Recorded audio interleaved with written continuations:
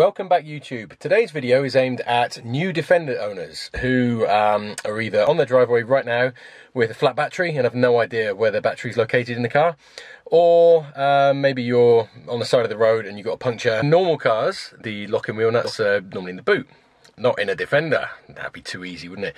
Likewise, batteries. You've probably opened your bonnet and you thought, where the hell's the battery? Again, never easy in a Defender. So this is a quick video just to show you where they're located and hopefully that'll help you out. Now both the battery and the jack and your locking wheel nuts and loads of other little bits and bobs are under your passenger seat. But now how do you get into it? Let me show you. Now the seat base is separate to the seat back, so to remove it, you simply put your hands at the front and give it a good yank up and then pull the seat base forward and it will remove itself like that. You'll see there's two little prongs. They securely fit into two little holes uh, just below the seat um, back. So when you put it back you'll see, and there's a metal bar and on the left and the right side of the seat it goes into two little holes as well uh, to secure it.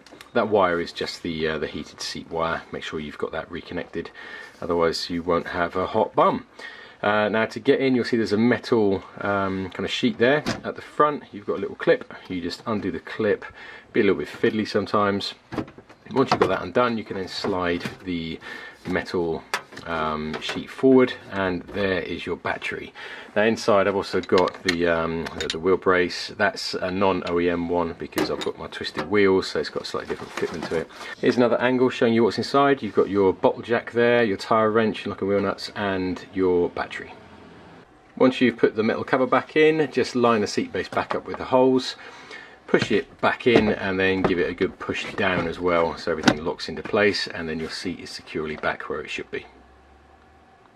So I hope this short video has helped you locate your battery, um, your jack and your locking wheel nuts. If it has, please give the video a thumbs up, uh, consider subscribing uh, and feel free to comment. Thanks for watching.